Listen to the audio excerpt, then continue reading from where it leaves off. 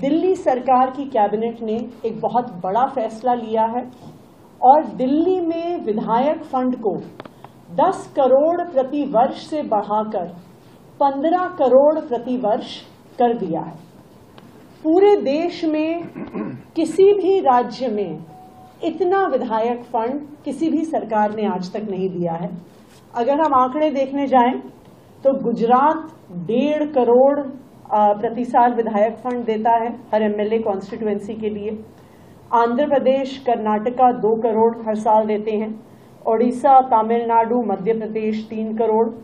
और कई राज्य जैसे महाराष्ट्र, केरला, झारखंड, उत्तराखंड, तेलंगाना, राजस्थान पाँच करोड़ प्रतिवर्ष विधायक फंड के तौर पे देते हैं।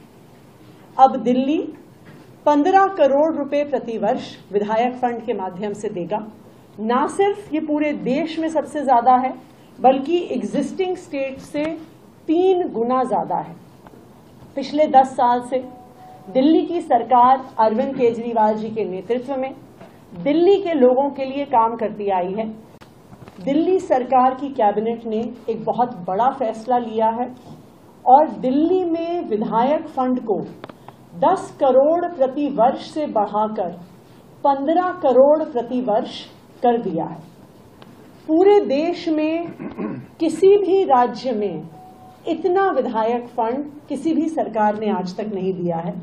अगर हम आंकड़े देखने जाएँ तो गुजरात डेढ़ करोड़ प्रति साल विधायक फंड देता है हर एमएलए कॉन्स्टिट्युएंसी के लिए।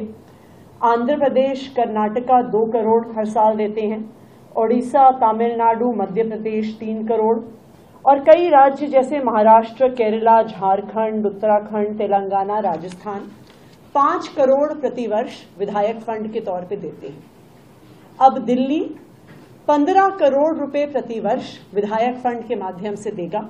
ना सिर्फ़ ये पूरे देश में सबसे ज़्यादा है, बल्कि एग्जिस्टिंग स्टेट से तीन गुना ज़्यादा है।